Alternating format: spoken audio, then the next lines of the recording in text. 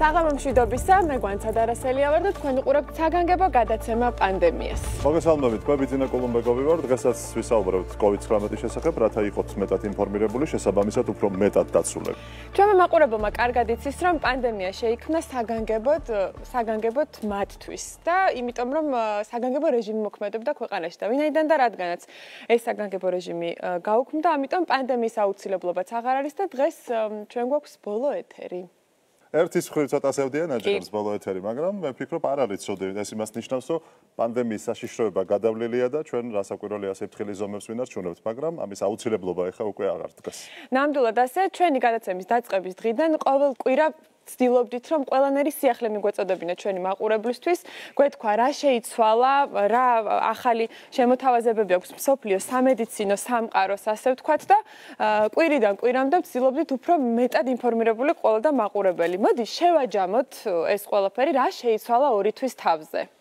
კონცა, შეიძლება ითქვას, რომ ბევრი რამ არ შეიცვალა, რაც ვიცოდით, უფრო სწორად გზა და გზა შემოგვეწია ბევრი ინფორმაციები და რაღაცები უფრო მეტად დაზუსტდა. ანუ ბევრ მათგანს გავჩნდა უფრო მეცნიერული მტკიცებულება. ანუ რაღაცას თუ ვარაუდის დონეზე ვსაუბრობდით, დღეს შეგვიძლია ვთქვათ, რომ ეს ესია. აი სწორედ ეს შეიცვალა. ამიტომ ჩვენ გვინდა, რომ შევაჯამოთ ძირითადი საკითხები, რომელიც ეხება ვთქვათ, ეპიდემიოლოგიის მიმდინარეობას, სიმპტომებს და ასე შემდგომ, რაც დღევანდელ დღემდე ვიცით. ალბათ კიდე ბევრი რამ გაირკვევა და დაზუსტდება, როცა ეპიდემია საბოლოოდ დამთავრდება. მაგრამ ჯერჯერობით რაც გვაქვს ეს ინფორმაცია უნდა ვთქვათ.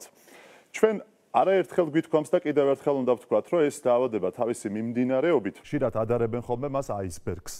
ეს იმას ნიშნავს, რომ როგორც აისბერგისთვის წყლის ზემოთ შედარებით მცირე ჩანს და წყლის ქვემოთ უფრო დიდი ნაწილია ყინულის დამალული, აი ზუსტად შეიძლება ესე ითქვას, რომ COVID-19-ის შემთხვევაში ზედაპირზე დგას ის შემთხვევები, რომლებიც რეალურად ფსოფლიოში ჰოსპიტალში მოხდა და რომელთა ლაბორატორიული დიაგნოსტიკა გახდა შესაძლებელი.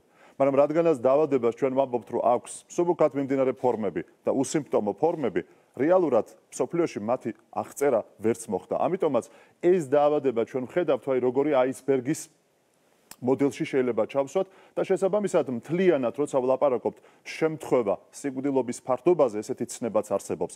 ჩვენ მხოლოდ შეგვიძლია ვთქვათ ამ ვირუსის დამაზიანებლებაზე მხოლოდ იმ შემთხვევაში თუ გვეცოდინება მთლიანი სურათი. ანუ მთლიანი მოცულობა და ტევადობა. ანუ რამდენი ადამიანი მსოფლიოში დაავადდა ზოგადად ამ ინფექციის. ჯერჯერობით ეს ციფრი ცნობილი არ არის. ჩვენ უბრალოდ ვიცით ვისაც ლაბორატორიულად ანალიზმა დაუდასტურა და ვინც ვთქვათ გამოჯამრთელდა ვინც დაავადდა ვინც გარდაიცვალა და ასე შემდგომ. ანუ აქედან ვსჯელობთ.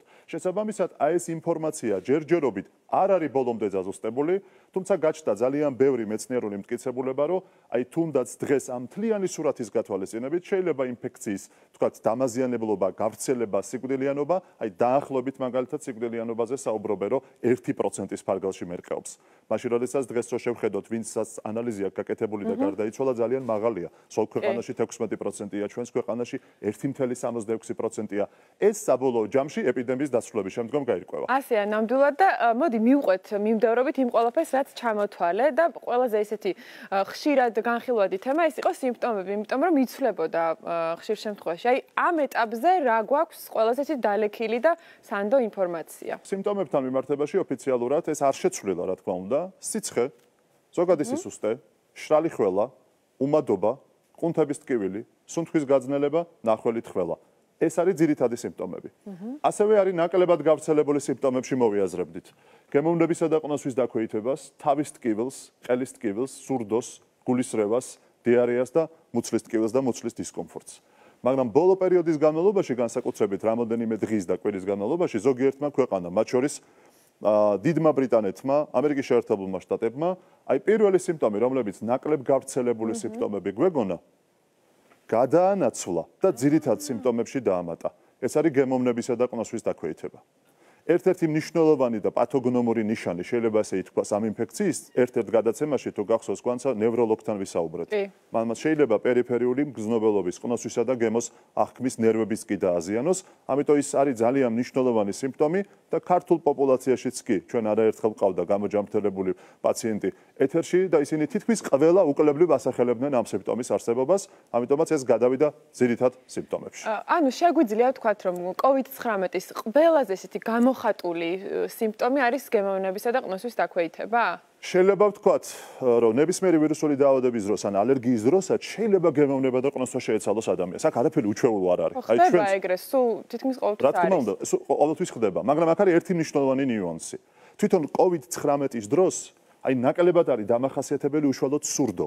ანუ ცხვირის გაჭედიდან თუ გაჭედილობიდან თუ გამომდინარეობს გემოვნების დაქვეითნება და ყნოსვის ეს ჩვეულებრივი მოვლენაა და გრიპის ვირუსს და ძალიან ბევრ ინფექციას და ალერგიასაც ახასიათებს. აი აქ საუბარია, როცა სურდო არ მაქვს და მოწმედილ ცაზე მე თუნდაც საერთო სისუსტესთან, ტემპერატურასთან და ვთქვათ მშრალ ხელასთან ერთად წამერთმევა გემოვნება და ყნოსვა. აი ეს არის სურდოს გარეშე მიმდინარე, თუმცა კიდევ ერთხელ უნდა ვთქვათ 100%-იანი არც ერთი სიმპტომი არ არის, მაგრამ მაინც ეს არის ყველაზე ხშირი სიმპტომები, ეს უნდა დავაფიქსიროთ.